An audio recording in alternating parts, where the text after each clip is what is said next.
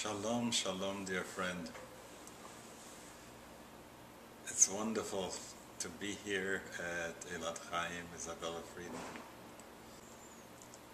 And we have a new training institute, an Elat Chayyim Training Institute, uh, Holy Drumming Training Institute, starting again for another two-year session. Akiva the believer. you know, drumming.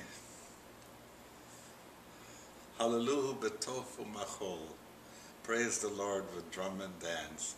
And, uh, you know, just because Zayda didn't use drumming in the synagogue doesn't mean that drumming isn't important.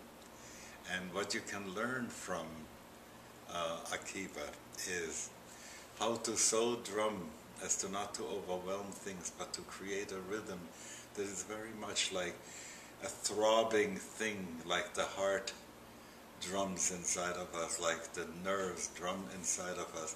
Like when prayer is without that rhythmic thing, you fall asleep, you get bored.